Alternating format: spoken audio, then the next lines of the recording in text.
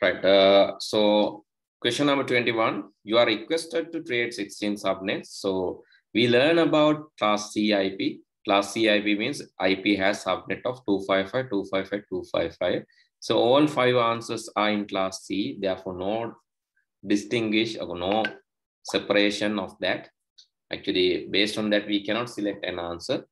Uh, but uh, so how to find so you have to create 16 subnets means the bits that you have acquired from the fourth octet, හතරවෙනි octet එකෙන් ගත්ත bits ගාන, those bits that you have acquired from the fourth octet should form 16 subnets. Okay, let me make it more simpler by writing these things in binary. Anyway, first 1, 2, 3, 4, 5, 6, 7, 8. 1, 2, 3, 4, 5, 6, 7, 8. 1, 2, 3, 4, 5, 6, 7, 8 bits are belongs to class C. Then next bits need to be acquired from the fourth octet. දාසයක් ඕන නම් අඩුම ගානේ අපිට acquire කරන්න වෙනවා 1 2 3 4 1. ඇයි Because 2 to the power 4 is 16. If you acquired 4 bits, 2 to the power 4 is 16, then that is enough to form four, uh, 16 subnets. Then we can keep next four bits for hosts. Okay, they are simply asking, what is this number? What is it?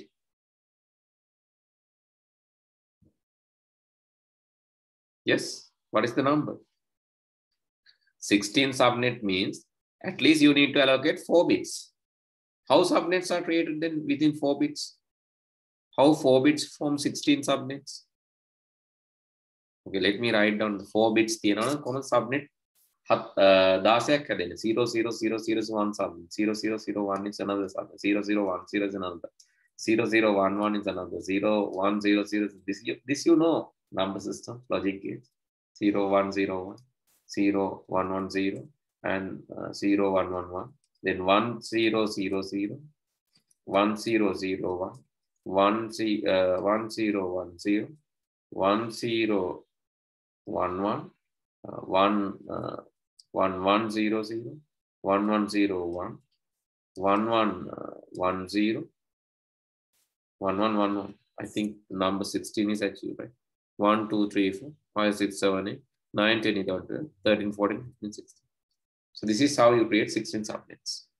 So the each these are subnets of the particular network. Okay, if you have four bits, enough. So what is the number there? What is the number?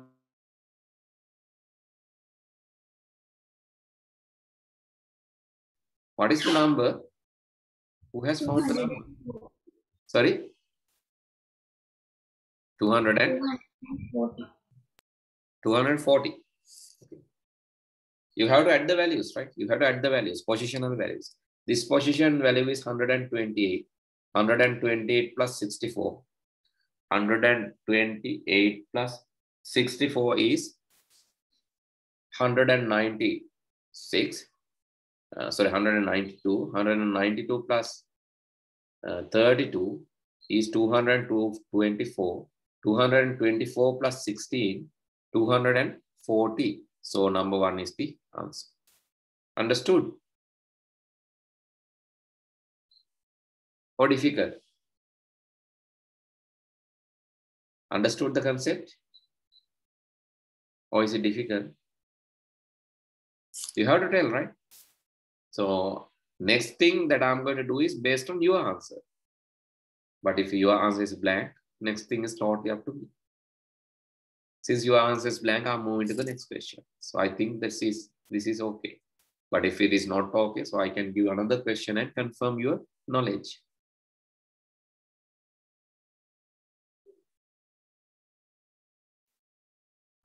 Okay, so you're not asking means I'm moving to the next one, right? Okay. Get the chances, right? If you don't know, ask, then I will explain. But if you're not getting, that's totally your responsibility. Which of the following statements regarding testing the system are correct? Which of the following statements regarding testing of a system are correct? Black box testing. Ah, okay, first of all, tell me your answer. First of all, tell me your answer. Then I'll tell my answer. Your answer for 22 and 23 both.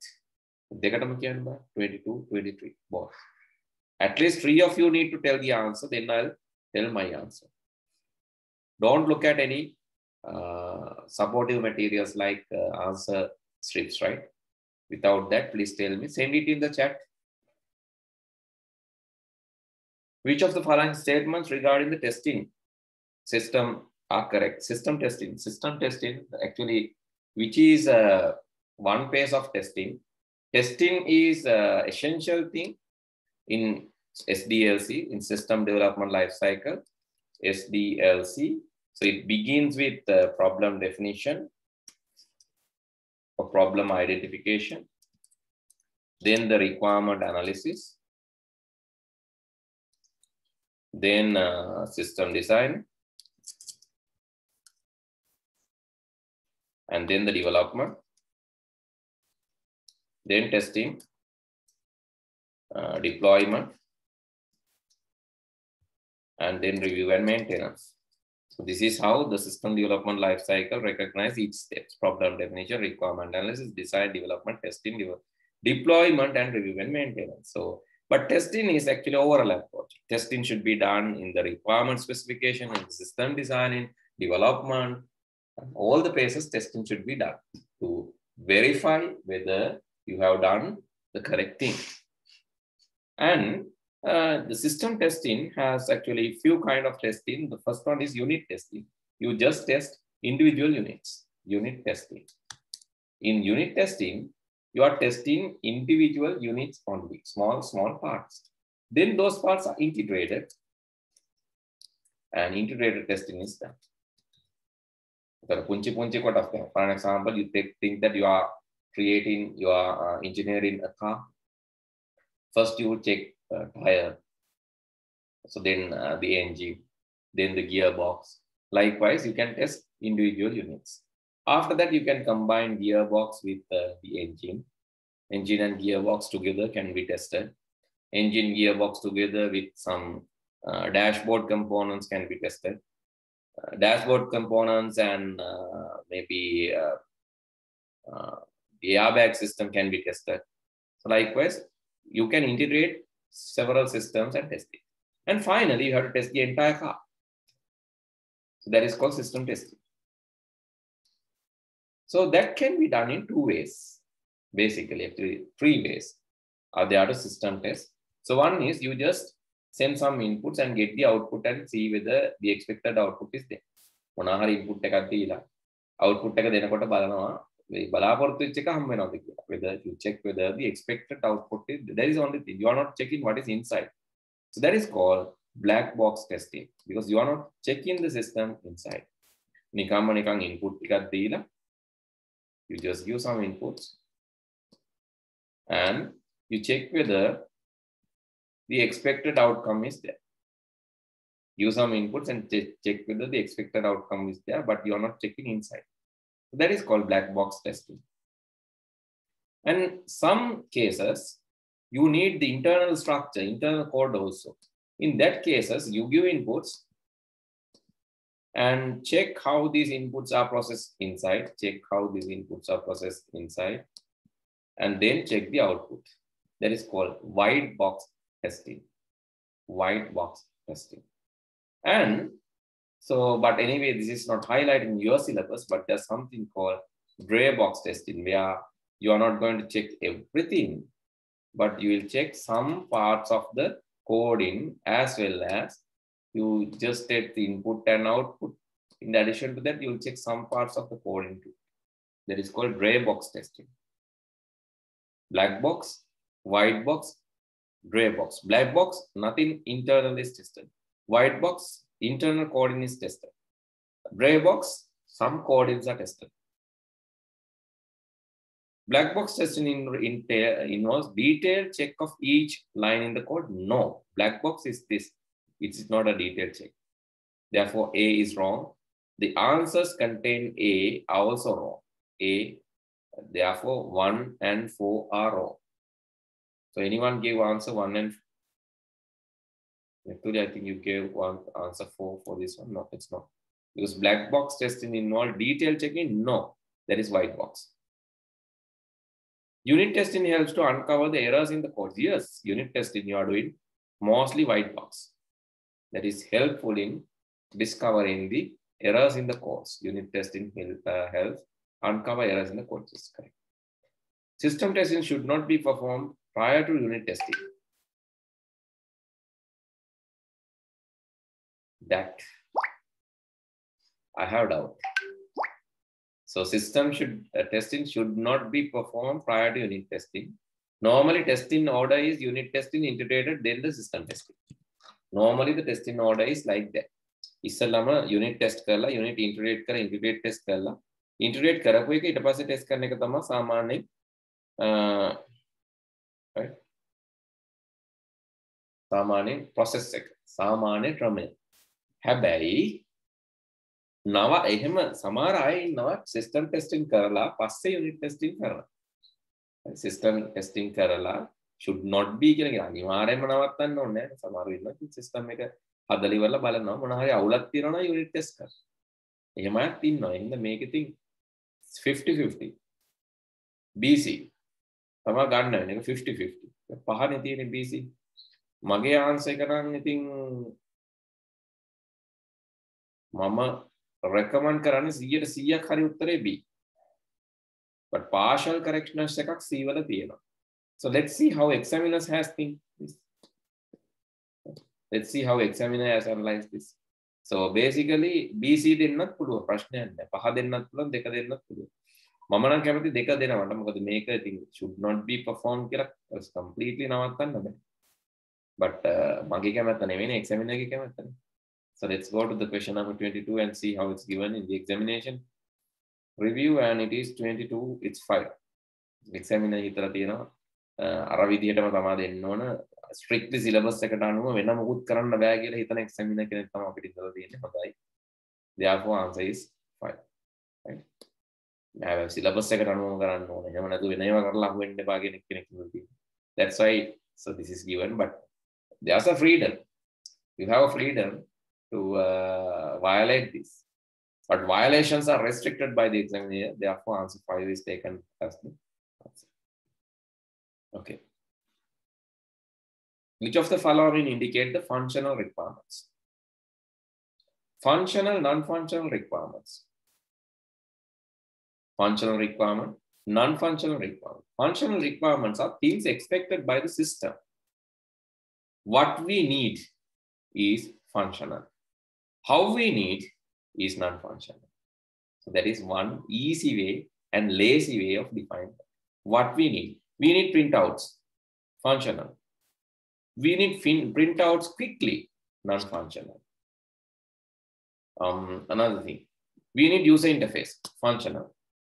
You, we need user-friendly user interface, non-functional. Uh, we need to add two numbers, functional we need to add two numbers within two seconds, non-functional. Right? What we need is functional. How we need is non-functional. That is the lazy way of defining them. So indicate the functional requirements, what we need. The user should be allowed to public their contact numbers and phone numbers function. Any user must uh, be responded within two milliseconds, non-functional. A system must be easy to change. That is non-functional. Functional is only A. The answer is number one. So let's see how examiner has reviewed that. That is given as for 22, 28, 28, is it the question? No, 23, sorry. 23, it's one, right? 23, it is one. 23, it's one. Examiner code, same as us. Only A is non-functional. So what about your answers? Shimla's answer is correct. Sydney's answer is correct. Shimla's answer, both answers correct. Sydney, one answer correct. And Methuli, uh, you have some struggling in theory parts, right? Mang දෙක තමයි දැක්කේ. Gihans, no.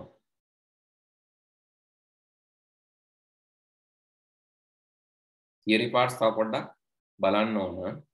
මොකද practical parts වල හොඳයි ලකුණු ගන්න එක theory parts වල පොඩ්ඩක් අඩු ගතියක් පේනවා you have to practice it Okay, uh, we discussed up to question number, we started with question number 17, 18, 19, 20, 21, 22, 23. Okay, we discussed a lot of questions today. And right, so let's discuss two more questions, 24 and 25. Also, right, 24. So let's, uh, okay. Yeah, two more questions. Let's discuss two more questions. Answer for 24 uh, and 25, please send it to the chat. 24, 25, please send it to the chat. Answers. Answers to the chat.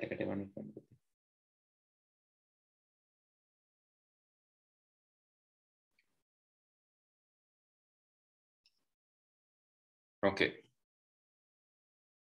The following details are given about software project. Requirements are fixed not changing, must deliver the complete software product at once.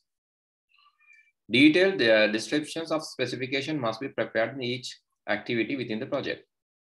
What is the suitable model for this project? If requirements are clear and not changing, that means clear and stable. And if the system is delivered at once, the best model to do this use is waterfall. So Gihan's answer is correct.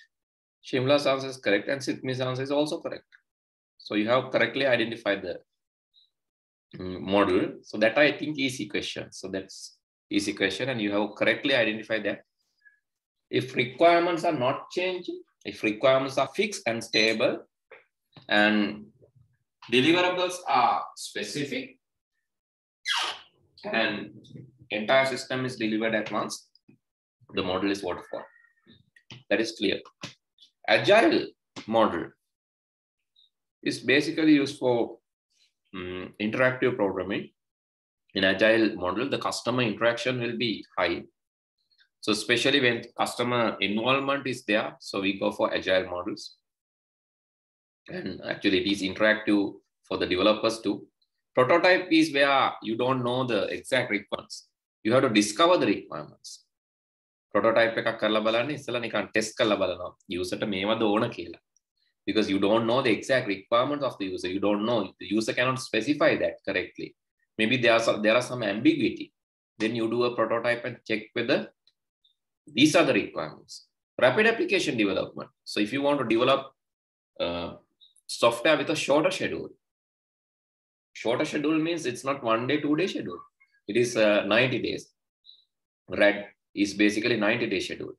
So if you want to develop a software quicker with uh, reusing the components uh, actually skilled users and advanced tools we call swat. Still workers with advanced tools. Swat team එකක් කියලා කියන අපි ඒකට skilled workers with advanced tools. A rapid පපිකේන් ඩිවලප්මන්ටලදි set team එකක් යොදාගන්න skill වර්කස් එකන හොඳ එක්ස්පිරියන්ස් තියෙන වර්කස්ලා යගේම ඇඩ්වාන්ස් ටූල්ස් සෝකොල දැකලති සමාරලාට මේ රඩ්වල්ඩ උදාහන්නයක් නෙවේ අම්ජස්ටන් සවටස්හවස් ලුක්ස් ලයි අර ගංවතුර හෙම ගාලා ටක්ගාල පාලමක් කැඩිලා ගියෝ අර ටෙම්පරි පාලමක් ගහන්නේ.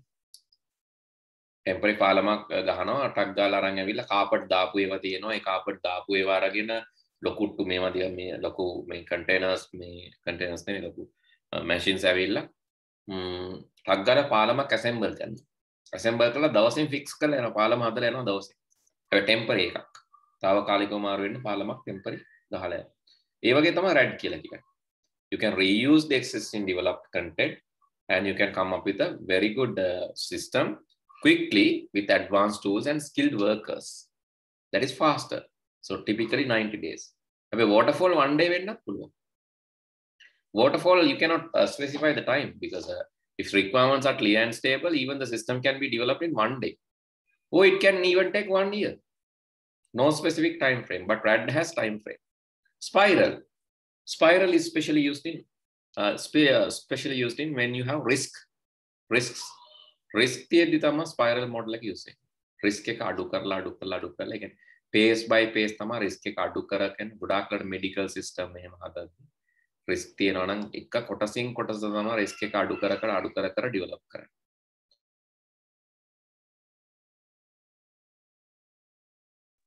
Okay, that is called spiral model. Right. So when you want to reduce the risk and do this, that is called spiral model. And uh, so the answer for this is waterfall. That is number five. And let's see what is uh, the examination answer. 24, it is given as number five, correct. Which of the following uh, statements on DFD, data flow diagrams, incorrect? Incorrect. So please understand the term incorrect. They're asking what is incorrect about DFD. Context diagram is DFD, the highest level of abstraction. කන්ටෙස් DFD වල තියෙන මුළු system එකම තනි එකක් විදිහට පෙන්වන එකට අපි නමක් කියනවා context diagram කියලා. සමහර තැන්වල මේකට කියනවා some places this is called level 0 diagram. but some places it is called level 1 diagram. ඒක ගැන එච්චර වැඩිය අවුල් වෙන්න එපා. දැන් ඔයාලා මේක හද්දි සමහරු මේකට කියනවා level 0 diagram කියලා. සමහරු කියනවා level 1 diagram කියලා. anyway this is the topmost one. this is entire system මුළු system එකේම වෙන දේවල් ටික තමයි මේකේ තියෙන්නේ සිස්ටම්. ඒකට අපි කියනවා context diagram එක කියලා. එතන සිස්ටම් එක නේ student registration system නම් student student registration system the output is maybe registered student. Likewise, the entities out, output means not output, actually entities. Entities may be student, receptionist, student receptionist, then student registration system. Student receptionist, in between you have student registration system. That is context that. All data stored in a system must be represented, uh, all data stores in the system must be represented in context diagram. Context diagram is system mechanism. The data stores pin and asking about incorrect. Right? So, so the first one is correct second one is not correct that is incorrect answer data flows are used uh, used to link uh, other components of DF. Yes, data flows are used to link entities, attributes, entities, uh, and processes, data flows. Elementary processes are not decomposed further, not decomposed. Elementary processes are not decomposed further. elementary processes are decomposed. This is also incorrect.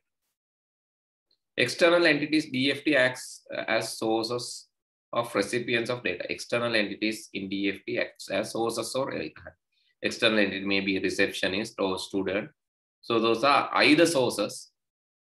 So student is a source and uh, recipient, receptionist is the recipient. So this, this is also correct.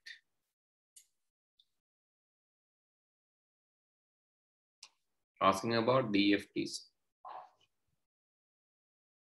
Answer is um, all data stores must be represented in the context tag. That is wrong.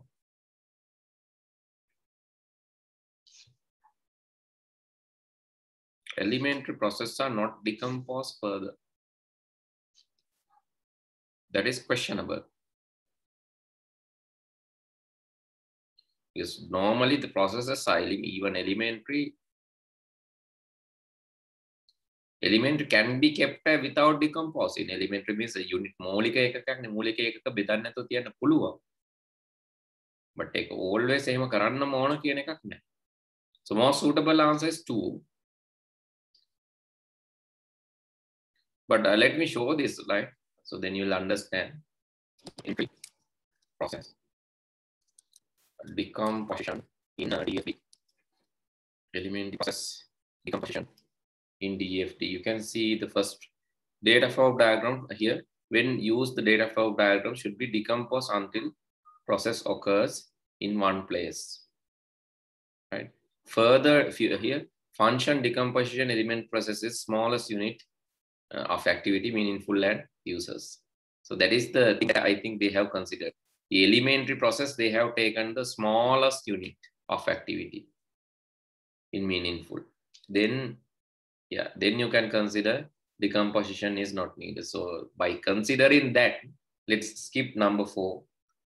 By considering that point, let's skip number four and get go for the uh, so elementary killing එකකින් එහෙම එකකුත් අදහස් වෙනවා elementary process එකකින් අදහස් අපිට පැහැදිලිව ගන්න අමාරු නොත් අපිට ගන්න පුළුවන් elementary process is something like uh, elementary process is like uh, the smallest unit, smallest process so that you that you are not going to decompose Right? If it's the smallest, you are not going to decompose, then you can take this as correct.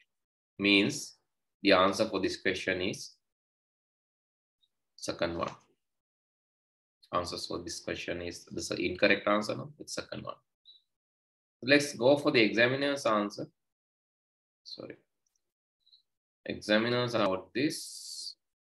That is question number. What is the question number? 24, 25, 25. The answer given is 2. Okay, same. Right, let's uh, discuss the fifth question also because we have two minutes left. Let's discuss 25th, 26th, and finish the class 26. So focus on the question number 26. What is the correct statement to delete database called ALDB? You are going to delete database. So the query will be drop, drop, and the database name. That is simple enough. So the answer for this one is number three. So if you want to drop a database, if you want to delete a database, so the command is drop. So this is belongs to DDL command, data definition language commands, because structural changes. Monahari, you have to here you can see the question number 26. Yeah, it is drop, sorry, drop database ALDB, drop database ALDB, that is to drop a database. So let me show this quickly. If you log into the MySQL DBMS, MySQL, sorry, here we are, I'm in the MySQL DBMS. If I show databases, I can see the existing databases. I'm going to create a database, database, DB test. I will create a database called DB test. Show databases will show that database here DB test. If I want to drop it, I have to drop database DB test. So if I want to change the database, use DB test, that will open and go to the database. If I show tables, you can see nothing is there. And if I want to delete the database, this drop